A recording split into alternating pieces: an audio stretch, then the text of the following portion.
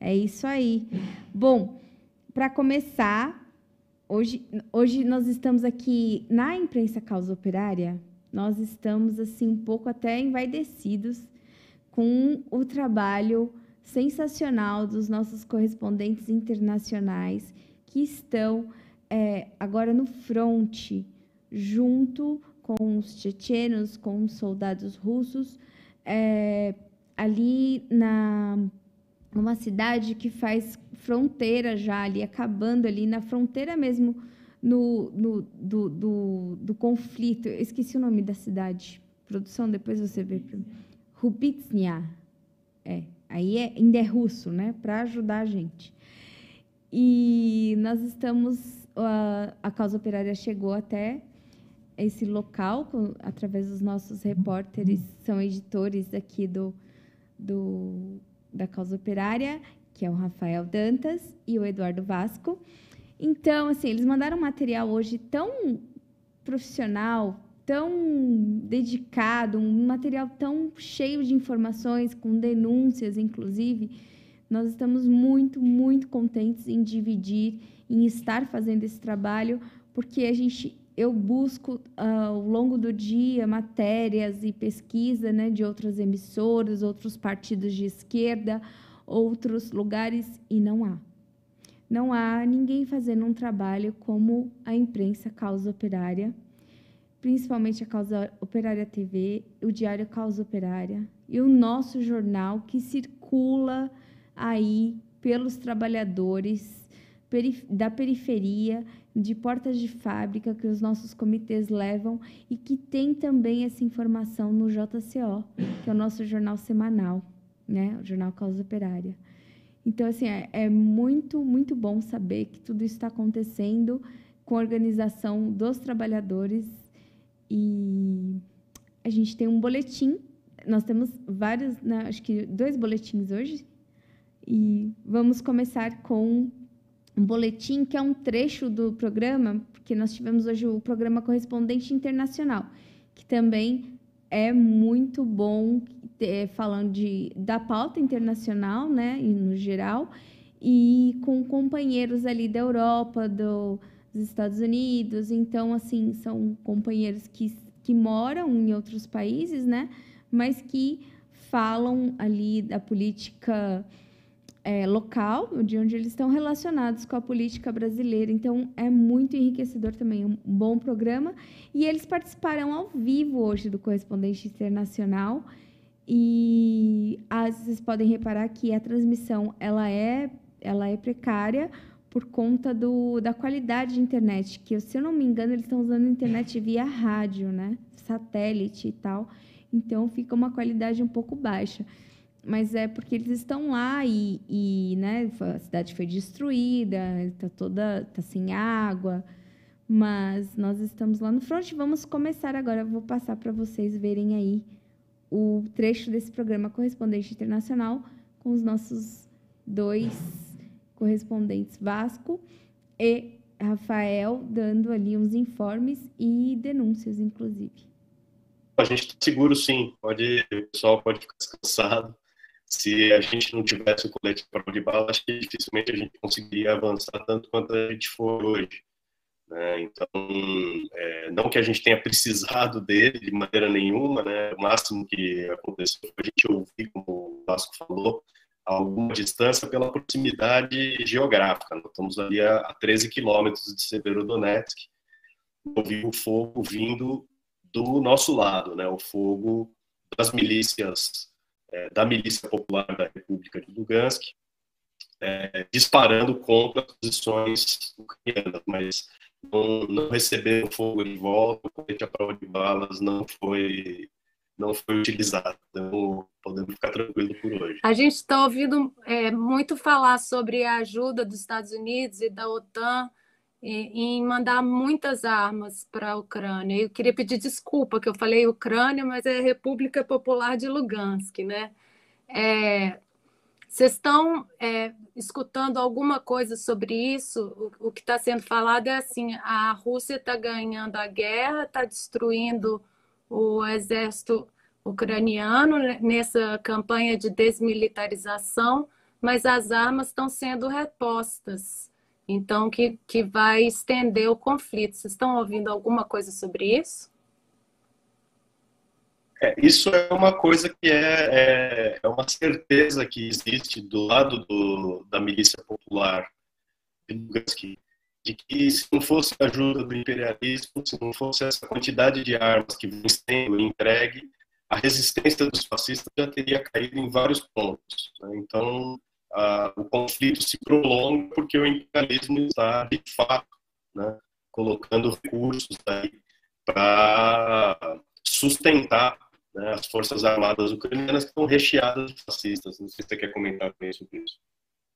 Não, é, o pessoal que a gente tem conversado é, denuncia que os fascistas eles cometem crimes, o exército ucraniano é um exército formado por nazistas e é, no caso né, no caso de Lugansk falta 5% do território para ser liberado no caso de Donetsk, ainda falta muito mais, né? talvez um terço do território. É, e tem tropas russas e da milícia popular de Donetsk, principalmente, já em outros oblasts da Ucrânia. Então, depende de onde que a gente está falando com relação a essa questão de resistência do exército ucraniano, da utilização das armas americanas, né? É questão de tempo da, da tarefa aqui do, da Milícia Popular de Lugansk ser concluída, que é justamente liberar o seu território. Essa, e aí sim, dentro de talvez um mês, um mês e meio, ou algumas semanas, né, depende aí é, de como que vai ser as batalhas em Severodonetsk e Lysychansk, o país vai ter perdido a guerra. Depois de oito anos o objetivo de Lula é justamente liberar 100% do seu território da ocupação do exército ucraniano. Quando fizer isso, vai ter ganho a sua guerra. Beleza, eu queria perguntar para os companheiros aqui do programa se alguém mais quer fazer alguma pergunta, mas até eles aparecerem, que a gente está tentando economizar a banda da internet, é, parece que o Cláudio quer fazer uma pergunta, mas é rapidinho. Vai lá, Cláudio, pode, pode falar. Eu queria saber se, se vocês conseguiram verificar se, aí a, a informação que a matéria que foi publicada, a informação da matéria que foi publicada aqui na Europa, né? Que não, que não tem homens nas ruas de Donetsk, porque eles estão fugindo do recrutamento obrigatório. Se tem alguma alguma veracidade? É, não. é, na verdade, a gente pôde verificar as ruas de Lugansk é que, de fato, a população masculina ela está no front. Quem tem tá a capacidade de portar uma arma está lutando. Não, não, não tem ninguém fugindo de recrutamento. Isso daí é, é propaganda de guerra, propaganda imperialista na guerra. Aqui na República Popular, como a gente vem falando no Diário Causa Operária, aqui na Causa Operária TV, é, trata-se de um governo operário a população está armada e está lutando. É isso que está acontecendo. Quem está na rua são é, as mulheres, idosos, crianças, uma parcela da população masculina adulta, mas já com, vamos dizer assim, com as suas peculiaridades, etc. E tal. É visível que a luta está se desenvolvendo porque você vê os caminhões, você vê os veículos militares para cima e para baixo. Né? Então, é, é difícil, é difícil acreditar né, que está todo mundo se escondendo embaixo da cama. Isso é uma mentira grossa, assim, é para fazer propaganda. É mentira ou é, ou é a vontade deles, né? O mesmo que não tá no... Companheiros, ah, muito, muito orgulho né, dos nossos repórteres que estão lá. E eu gostaria de dizer que este vídeo, né, a continuação, está no nosso programa do Correspondente Internacional, que foi ao ar hoje, né? Então, se vocês quiserem ver a entrevista, todo, todo o, o boletim, vocês podem acessar aí no nosso é, YouTube. Um, é, eu achei interessante comentar é que eles já desmentem ali, né, a coisa de que não há soldados, não há que eles estão enfrentando dificuldades para alistar na, do lado da, de Lugansk, né, da Rússia, né? E é uma balela, uma mentira. Eles estão lá, eles estão vendo que lá a luta, inclusive, é popular, é do povo, né? É um governo popular. A República de, Popular de Lugansk, ela ela é gerida, administrada pelo povo, né, no parlamento, e eles se organizam em milícias, né, assim como nós víamos aí no, nos idos da União Soviética. Então, é, é, cai por terra toda essa coisa de, de dizer que, que não há soldados nem nada, porque é uma mentira. Nós aqui soubemos que o outro lado, né, o lado ucraniano, sim, eles não, eles estão com falta de soldados, por isso que cresce o número de mercenários, porque os ucranianos sabem que vão para o fronte e vão morrer, né? São buchas de canhão até chegar mais armas. Inclusive as armas que a Europa, né? Isso foi deixado, foi denunciado neste vídeo.